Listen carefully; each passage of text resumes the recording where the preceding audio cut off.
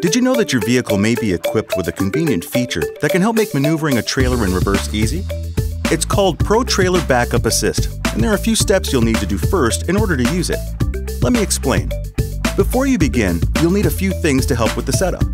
Your supplied Quick Start Setup Guide with measurement card, a tape measure, a pen or pencil, an assistant to help out if needed, as well as the checkered sticker that comes with your guide, which I'll tell you about later. First, you'll need to connect your vehicle to your trailer on a level surface. For best results, it's recommended to use a drawbar with the appropriate rise or drop to position your trailer level to the ground. Then line up your vehicle and trailer by pulling forward so they're in line with one another. Second, from inside the vehicle, to begin programming, press the center of the Pro Trailer Backup Assist button located to the right of the steering wheel, here. Using the up and down and left and right arrows of the five-way controls, spell out the name of the trailer using the right arrow to advance to the next letter. Press OK once finished. Next, select the type of brake system for your trailer, electric, which is the default, or surge type, and press OK.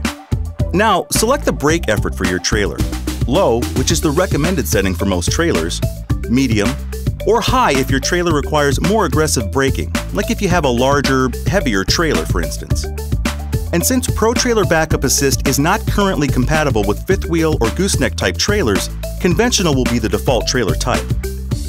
You'll get a message asking if you want to add Pro Trailer Backup Assist.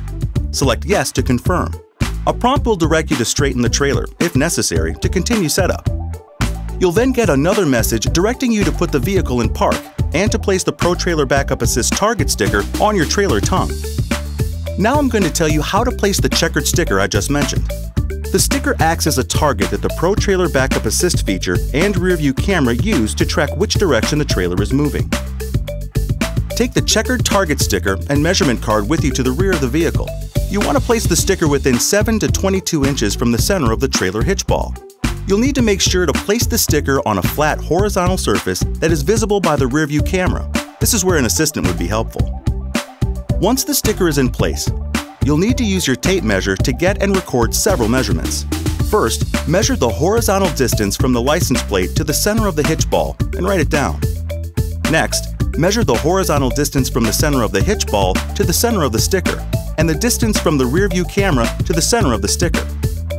Keep in mind, the location is not dependent on a straight or A-frame type, but based on where a surface is available that meets the requirements. And finally, the horizontal distance from the tailgate to the center of the trailer axle if it's a single axle trailer. If the trailer has two or more axles, measure to the center point between both axles, here. Okay, now I'm going to tell you how to input the measurements into the system's information display. To input the measurements you recorded outside the vehicle, use the up and down arrows on the five-way switch on the left side of the steering wheel to increase or decrease the numbers as needed, like this then OK to confirm each measurement and to move on to the next measurement. Once you've added the last measurement, the information display will show you all of the entered measurements. If correct, select Confirm and hit OK. Once you confirm the measurements, the system will automatically search for the sticker target and highlight it with a red circle. And a message will ask if the sticker is circled. If it is, select Yes to confirm. You'll get a confirmation message letting you know setup is complete and measurements are saved. If you do not see the sticker circled, select No. Make sure the measurements are correct and that the trailer and vehicle are positioned straight. Finally, you'll need to drive the vehicle straight forward between 4 and 25 miles per hour as directed until you get a message confirming calibration is complete. Any questions? Go to owner.ford.com.